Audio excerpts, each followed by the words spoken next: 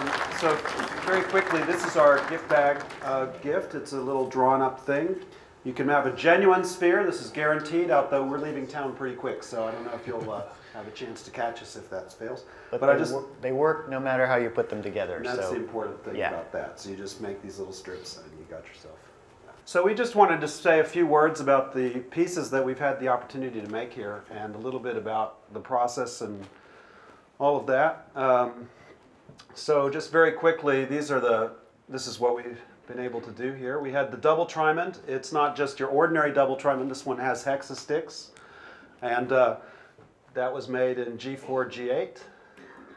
Uh, this is one of N, and the thing here is that I'm really a little embarrassed that after all this time I've never actually figured out what N is, so I don't know what the real title of this piece is, if anybody wants to work that out. It's the number of ways of going through a, a cube that's divided into orthants, and then those are divided into orthants, and those are divided into orthants exactly one way, up, up, up to symmetry. And then this is uh, Gyring Gyroid from 2012. And this is the one we made uh, last time.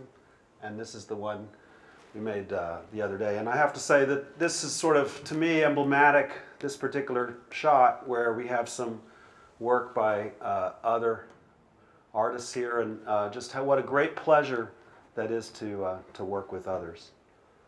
You want to comment on that? So this is the uh, assembly from Friday, and uh, you can see uh, two. So two colors, two colorations, two models. Um, We probably don't have time to. We just, Okay. I guess the point is just that we have the collaboration, right? That's that's the wonderful aspect that we've been collaborating for 10 years now on these on these sculptures, And and all of you as well. yeah, there's there's the collaboration between Chaim and me, and then there's the collaboration with you all, and it, it really is a pretty magical experience. Uh, and then, of course, the party. By the way, this is, uh, of course, you'll recognize uh, John Conway and uh, Vladimir and Carlos Séquin. And this is Alan Schoen, who will be in our story just in a little bit. So we wanted just to take a few minutes just to describe this one piece. We could talk about any of these at great length, but just this is our, uh, I think we decided this is our favorite, I think. And just the, uh, you might wonder, like, how does this thing put together? And um, in particular, it's very similar to our gift bag and the item and the gift bag item that we had last time as well. Do you want- so uh, the, uh, the critical thing is that this surface is actually a, uh minimal surface, which means it's exactly the thing that would be formed by a soap film.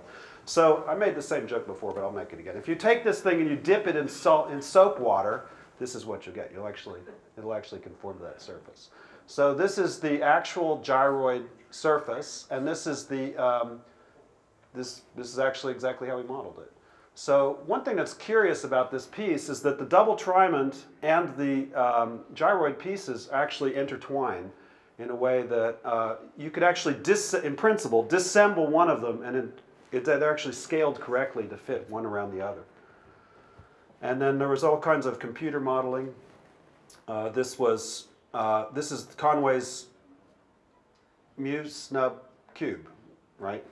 And then here it is relaxed and Surface Evolver. This is actually pretty close to how the pieces were laid out, and then this was all chopped up. And then, Chaim's more in the theoretical end of it, and uh, when it comes to my studio, uh, here you can see the first step was to make this crazy pin jig, which I made uh, a whole bunch of precise pins, stuck them in a hole, and that was our map to start. Then I covered it with clay, um, replicated it in plaster and then fiberglass. Used that as basically the form for assembling all those strips. It took some uh, definitely experimenting with a couple different ways to get the look we liked. at least a couple. yeah, And, then, also, and then also, this was kind of fun. These are actually hand-drawn curves on here. These are optimized, in a sense, by hand, like let our, our hand follow, figure out what those curves are. And then my the thing I've got my hand on there is the the crazy system for keeping all the uh, bolt holes spaced right, and that was a little bit tricky. Just sort of trial and error, going back and forth. Um, but there you can see some of the plates being made. There's one with the little dot welds that was a, a strategy we tried and abandoned. Um, you can see the form there has been welded on a lot. And then, There's all the pieces laid out at the party. And as usual, everybody gets right to it. and here's a nice little sequence which we enjoyed a lot.